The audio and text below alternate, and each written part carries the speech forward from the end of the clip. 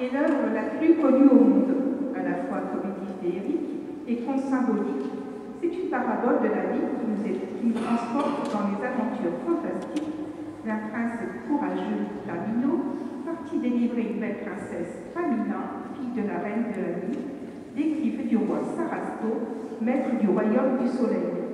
Dans ce final de l'acte 1, le cœur des clochettes, que nous allons nous interpréter, le prince prisonnier fait sonner des clochettes magiques, ce qui a pour effet d'ensorceler et de faire danser ses géoliers, qui sont alors ensorcelés et envoûtés. Qu'elles sont merveilleuses, qu'elles sont ravissantes.